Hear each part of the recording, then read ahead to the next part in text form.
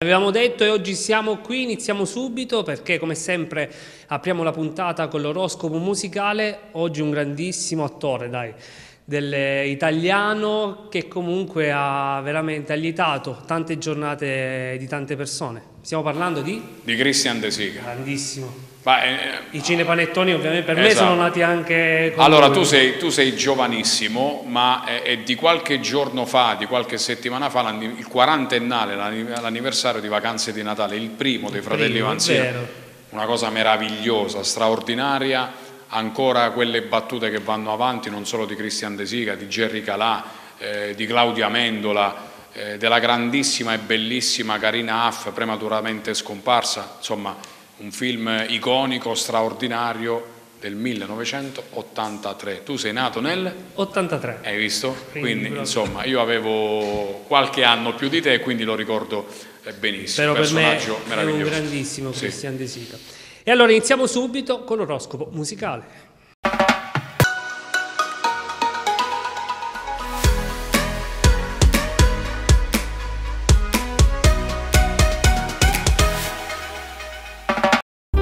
Bentornati a tutti all'oroscopo musicale. Sempre sotto il segno del Capricorno, a Roma nasceva un grande attore comico, regista, showman, famosissimo per i cinepanettoni.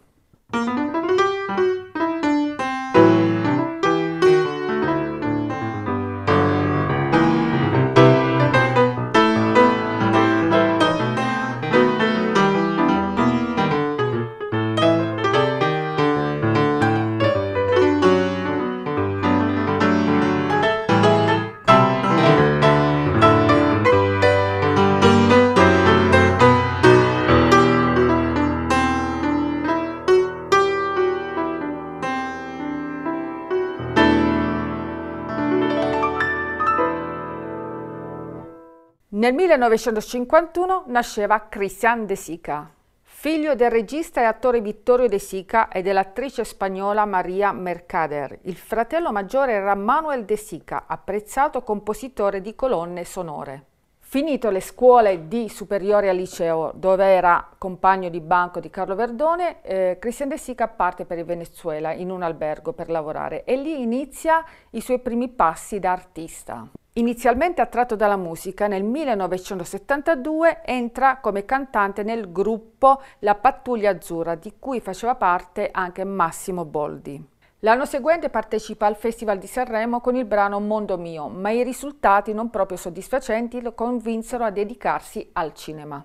Infatti fu proprio il papà ad affidargli una piccola particina nel 1973 nel film Una breve vacanza. Contemporaneamente alla carriera cinematografica, Christian De Sica sviluppò il ruolo di intrattenitore televisivo. Dopo aver collaborato con Sergio Corbucci e Carlo Vanzina e con Carlo Verdone, De Sica fu protagonista con Jerry Calà e Marina Suma in Sapore di mare. Il successo al botteghino fu notevole. Nello stesso anno, Christian De Sica torna al fianco di Calà e del giovane Claudio Amendola in Vacanze di Natale, primo cinepanettone. Da allora Christian De Sica è la figura simbolo dei cinepanettoni.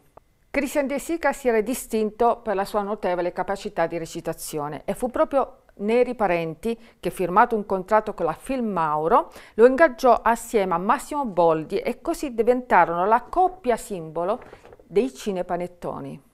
Nel 1990 Christian De Sica esordisce anche come regista con Faccione, ottiene la candidatura al David di Donatello come miglior regista esordiente e nel 91 dirige e interpreta Il Conte Max, omaggio al cinema del padre e di Mario Camerini, da lui interpretato con Ornella Muti, Anita Ekberg e la mamma Maria Mercader.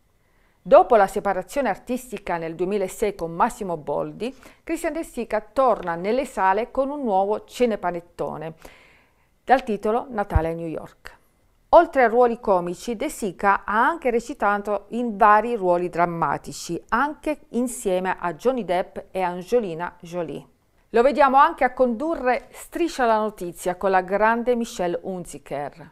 Sempre a fianco della bellissima Michelle Hunziker lo vediamo anche nel programma di Zelig. Nel 2018, dopo 13 anni di separazione, Christian De Sica torna sul grande schermo assieme a Massimo Boldi con un nuovo film dal titolo Amici come prima.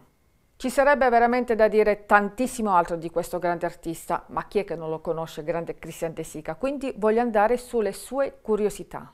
La prima curiosità è questa. Precedentemente fidanzato con l'attrice Isabella Rossellini, dal 1980 è sposato con Silvia Verdone, sorella di Carlo Verdone. Un'altra curiosità ed è questa, uno dei suoi grandi idoli è Frank Sinatra, che ha avuto modo di conoscere durante un viaggio di lavoro insieme a suo papà Vittorio De Sica.